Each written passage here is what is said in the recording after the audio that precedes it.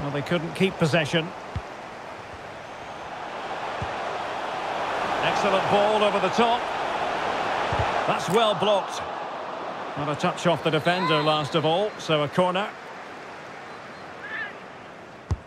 Over it comes. Oh,